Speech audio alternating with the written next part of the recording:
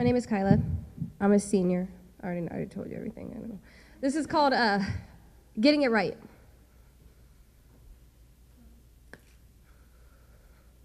My grandmother was raped as a child. My mother was raped as a child. I've never been touched. Now tell me how on earth I can go to my mom and be like, thank you. Thank you because at the end of the day, you kept me safe, and that's pretty cool, I guess. No.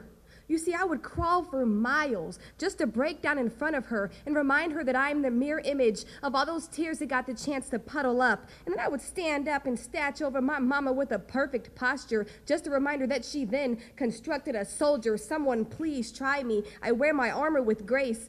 My mother has always been graceful. I will take my ears, my mouth for all those screams that were never heard, those screams that are no one's favorite song, fortunate enough to be found in no dictionary. Can you fathom the idea that no amount of soundproofing can diminish them than those screams that are filtered in as spectacular poetry, baby? Hear me roar. He took pieces of her, pieces she thought she'd never get back, emptiness, she once said. But lo and behold, she multiplied. See, I know he echoes in her membrane. Yes, that is the the past calling. Well, how loud do I have to sing the reminder that she still has a future? I am getting so buff from carrying these 100 pound bags under my eyes, representing all those sleepless nights. Yep, let somebody know I've been up on a mission. I want to be a warrior. Stomping through the mud, my poor angel always felt so dirty. I need to prove to her that if you believe hard enough, someone will come and rescue you. I want her to take a mental snapshot of her standing there by herself because I soon will be grabbing my three other siblings as we hold hands and circle around her,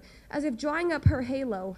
Just look how remarkable she is. She once held on the blankets, a comfort, and I understand that, but girl, all I see is a cape, and I am always down to be your sidekick. See, I won't say a word. I will just hold her for all the times that nobody would. But then I will go behind her back and I will walk across elaborate stages in front of hundreds of people, and I will have them applauding because something beautiful always comes out of darkness, and I will have them standing, maybe for the first time knowing why. I will have them lined up, waiting to see something hopeful, and I'm the lighthouse clearing up those fogged up visions. It doesn't get much brighter than this. So if you ever need anything, Ma, you call me, and you will always get an answer. See, I know he hurt her, made her question wrong from right. But if only she could see it through my eyes.